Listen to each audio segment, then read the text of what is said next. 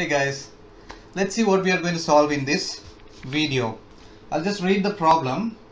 The table shows the postage rates for parcels to foreign countries. This table, yeah.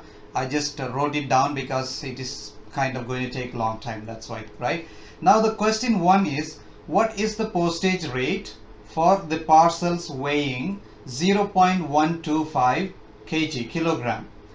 Question B is Mr. Khoo wants to send three parcels of 0.07 kilograms and two parcels of 200 grams and a parcel of 0.43 kilogram to his customers overseas. How much does he need to pay for postage in all? Right? So these are the two questions that we are going to answer here. Now, right? Let's uh, let's let's write down what is given in the problem right?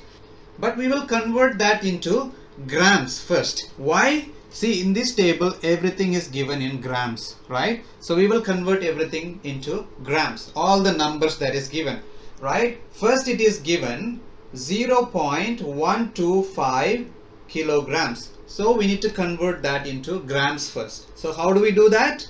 0.125 times 1000, right? 1000 grams is 1 kilogram, right? So we just multiply. In this case, it will become 125 grams, right? The second value is 0.075 kilogram. 0.075 kilogram, which is going to become 0.075 times 1000 equals to 75 grams.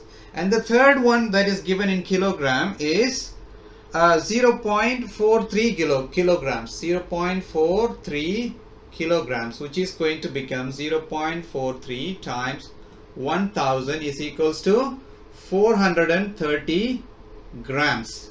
Yeah? Got it right? So we have converted that to become grams and there is a fourth value which is actually given in grams itself right? So this is what is given in the problem. One two three and then four right? This is what is given in the problem. We have just converted that into grams so that it can match the table right? So question one. Question one is right? What is the postage rate for parcels weighing 0.125 kilograms right? So 0.125 kilograms right which is 125 grams right? See in any in any uh, post office or office something like that right? Post office or any office some similar to post office what you will find is you will always find standard rates only right? What it means is that they will charge you based on 80 grams 120 grams 150 grams 250 grams 300 and 500 grams. What it means is that in between any values right they don't consider. If it falls under like 90 grams which is more than 80 but less than 120 they will just go for because it is over 80 already they will take the next value right? Which is 120 gram. Even though you sent only 90 grams they can only go for the next one which is 120 that's the standard weight that they they charge against any any parcel yeah? So to make the calculations easier right? So that is why the standard table is always given in any places. If you go to post office you will find it. Yeah? Okay. So based on this table 125 grams right? To send 0.125 kilogram right? How much um, how much you need to pay? What is the postage rate? There is no one sending but we need to find the postage rate. So 125 gram is more than 120 but less than 150 right? It comes here. So we can you can write one more step also which is right which is like uh, 120 it is more than 120 125 but less than 150 right? So so 150 grams charge applies which is equals to how much? Three dollar three dollar eighty cent which is answer one is three dollar eighty cent.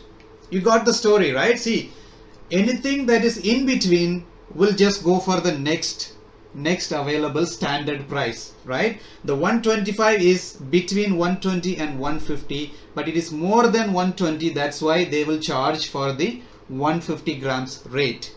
Got it right? So answer 1 we have found it.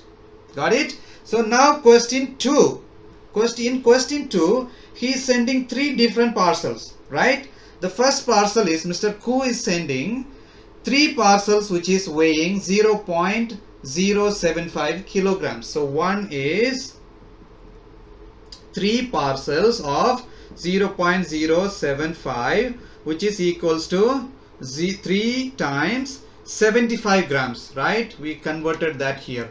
75 grams right? That one will be 75 is less than 80 so up to 80 0 to 80 they will charge the 80 grams price which is two dollars 50 cents. So which becomes three times two dollars 50 cents equals to how much? seven dollars 50 cents right? seven dollars 50 cents. Now the second one it says that how much?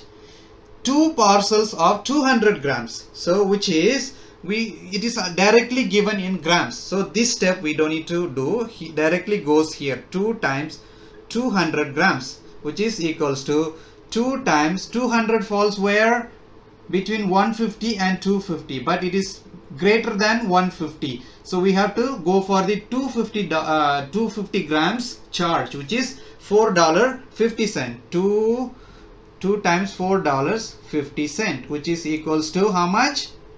nine dollars right? nine dollars right? Now the third one is third one is he wants to send one parcel a parcel which is 0.43 kilograms right?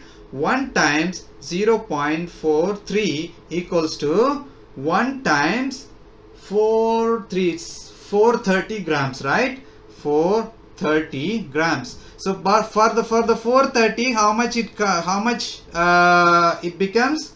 So you have to put this sign so that you are not actually saying this one is equals to this one from here it implies from here this is what you get. That's what it means right? So you don't put just equal you just put the arrow symbol as well. So from here it becomes 1 times for 450 it is more than 300 but less than 500 grams right? So one time so we have to go for the 500 grams charge which is eight dollars. So which is one times eight dollars equals to eight dollars right? So he wants to find i mean we need to find how much will be the charge for all the three right? So total charge total charge equals to we just need to add all of them together. Dollar seven dollars fifty cents plus dollar nine nine dollars plus eight dollars. Eight dollars which becomes how much? How much how much? Quick quick. 20 24 dollars and 50 cents. So answer 2 answer 2 is how much? 24 dollars and 50 cents. Easy guys. So you just need to have some understanding how this table works. That's all. And it will be very easy to answer this sort of questions. Right? Great. Alright guys. So if you have any questions leave your comments in the comment box of this video and um, thanks for watching. Don't forget to subscribe the channel. Yeah